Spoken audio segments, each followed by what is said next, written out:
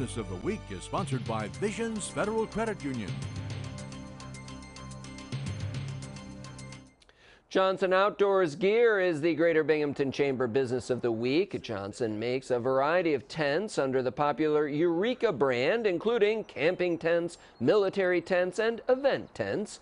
Plus, it recently started producing negative pressure patient pod tents for the healthcare industry. The business was founded as Eureka in downtown Binghamton back in 1895. In 1973, it was purchased by the Johnson family, owners of SC Johnson Wax.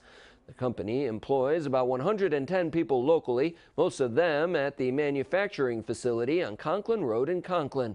Johnson also has a distribution site in the Kirkwood Industrial Park.